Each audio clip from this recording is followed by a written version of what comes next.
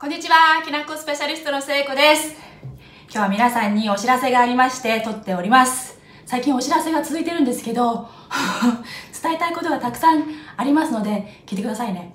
今日は、えっ、と、皆さんに YouTube ではまだ言ってなかったんですけど、私今、あるきな粉のお菓子の開発に携わっておりまして、そのお菓子がやっと皆さんに、ね、買っていただけるような段階になったので、今日はお知らせと、そのね、プロジェクトの経緯なんかをね、お知らせしたいなというふうに思って撮っております。どんな風に開発したのかの VTR も見ていただければなっていうふうに思ってます。ちょっとだけね 知らなかったでしょ言ってなかったから。ね。なので、まず経緯なんですけどね。今年、今年の年明けに、あるお菓子屋さんからお話をいただいたのがきっかけだったんですけど、そのお菓子屋さんっていうのが、前私もこの YouTube チャンネルで、えー取材させてもらった、ね、きなこのお菓子専門店の、えーお菓子屋さんから、ね、その店長さんというか社長さんから、えーご連絡いただいたのがきっかけだったんですけど、ね、きなこスイーツファクトリーっていうきなこのお菓子専門店なんですけど、もともとそのお菓子屋さんっていうのは、五花棒っていうお菓子をずっと作り続けているところから始まってるんですよ。もう100年以上作ってるんだけど、その五花棒についてちょっとね、お話をしたいなと思うんですけど、五花棒知らないでしょ皆さん。ね。江戸時代後期からあると言われてるお菓子なんですけど、ぜひぜひ私の動画を見てもらいたいんだけども、あの、おこし種、米パフがあるじゃないですか。あれと水飴をなんかをもう混ぜて、こう棒状にするんですね。で、そこにきな粉たっぷり入った蜜が入った、きなこ飴の皮っていうのを巻きつけて、で、職人がね、伸ばしていく。同じ、同じ、なんていうの？形にしながら伸ばしていって、で、それにきな粉をまたたっぷりかけて、ね、切って食べるっていうお菓子なんですけど、それをずっと作っていらっしゃる、えー、渡藤さんっていう会社なんですね。きな粉スイーツファクトリーの渡藤さんなんですけど、ね、その渡辺さんから、いや、聖子さん実はと、今度うちで究極のご家宝を作りたいと思ってるんですよっていうふうに言われたんです。ね。だから、今までずっと作り続けてきたけれども、もう、究極の素材を使って、もう素材の見直しをして、あの、作りたい。それを広げたい。知らない人もいるから。知らない人いるんだよね。私もあんまり知らなかったんだと思うんですよね。うん、見たことあったような、なかったようなみたいな感じだったと思うんですけど、なのでそれを広めたい。そして、その渡辺さんのお父様もま職人で、もう職人歴50年やってるんですけども、ね、ね、お父さんもいい年でもあるから、いつ作れなくなるかもしれないから、やっぱりその、まあ、究極の職人技なんですよね。を使って、職人技と究極の素材を使って、ね、その綿通市場、もう本当に最高のご家宝っていうのを作ってやりたいんだと、それを広めたい、そういうクラウドファンディングのプロジェクトをしようと思ってるんですっていうお話をいただいて。で、聖子さんにはそのきな粉の剪定とか一緒にできたらいいなっていうふうに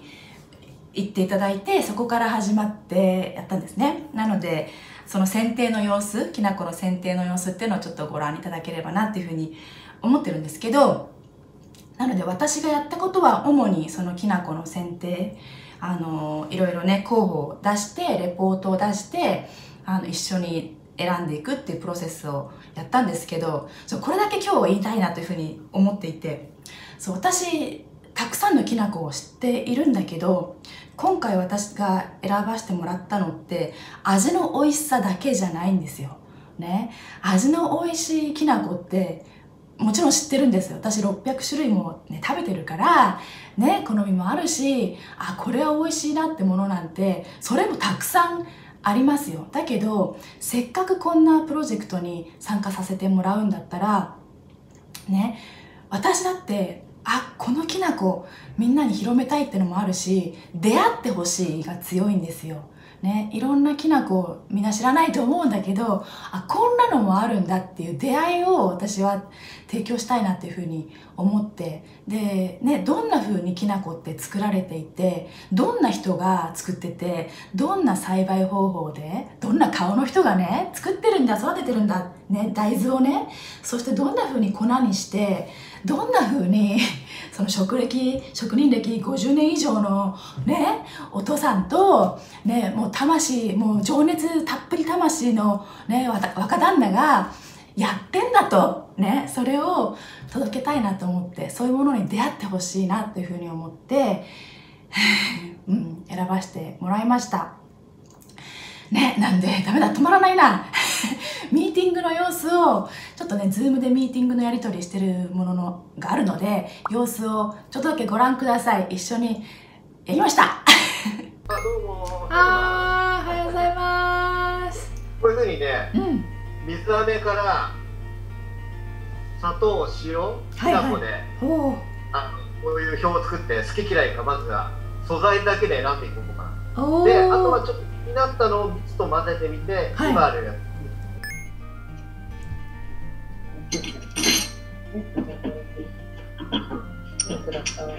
これ結構ちょっとなんとなくこれ引っ込めってよくわかんないの。企画がない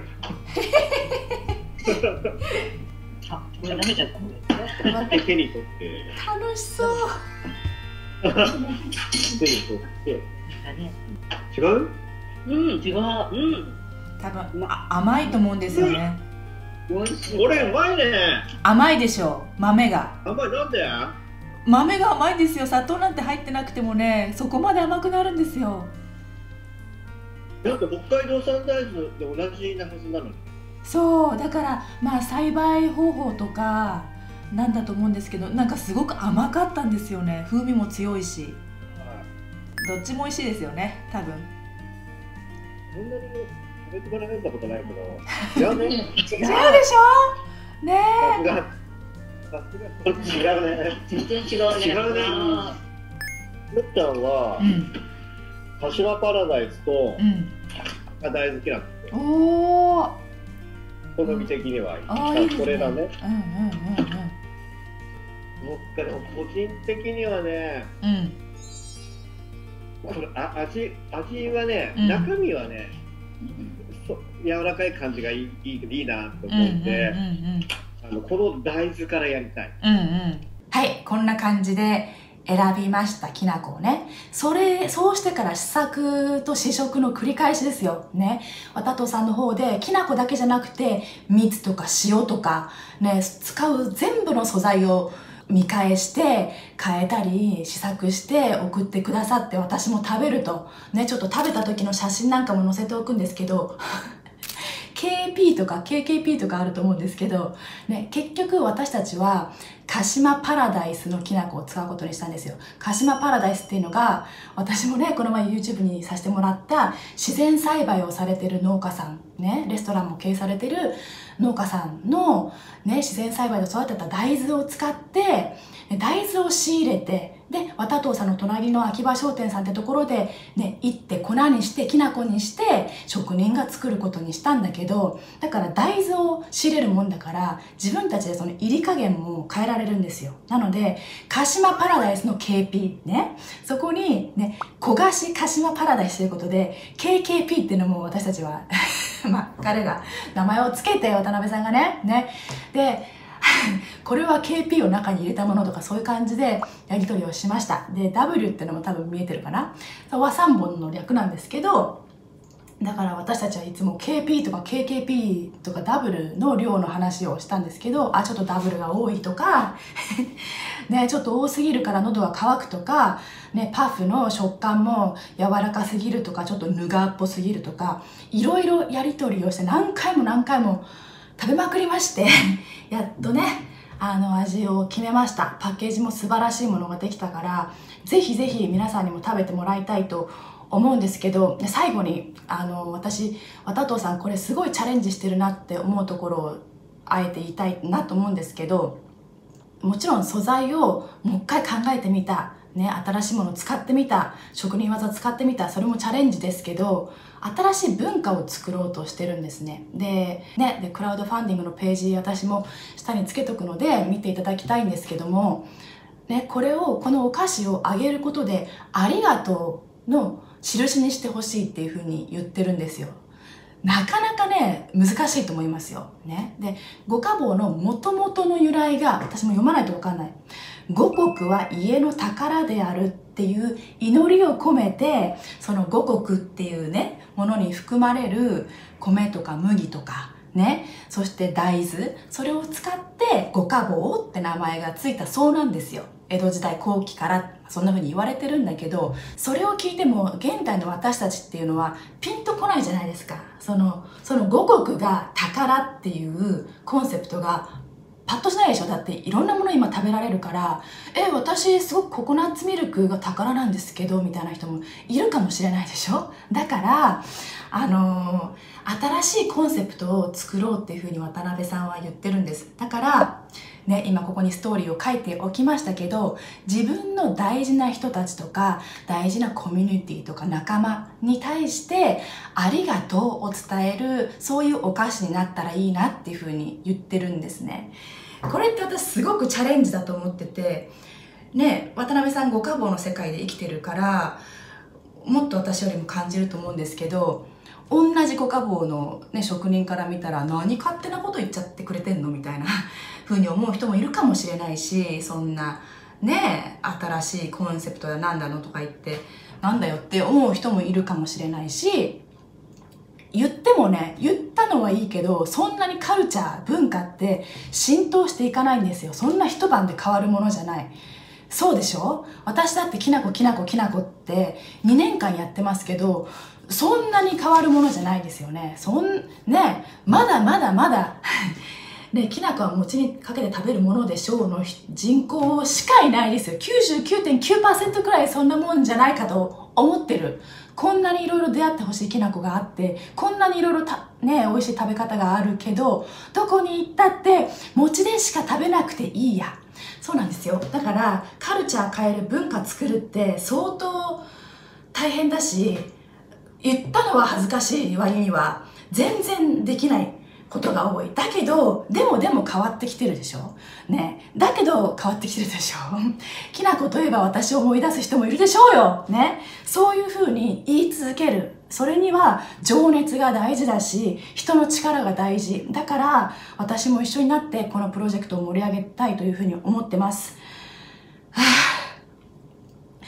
言い忘れたところもあるかもしれないけど、渡辺さん。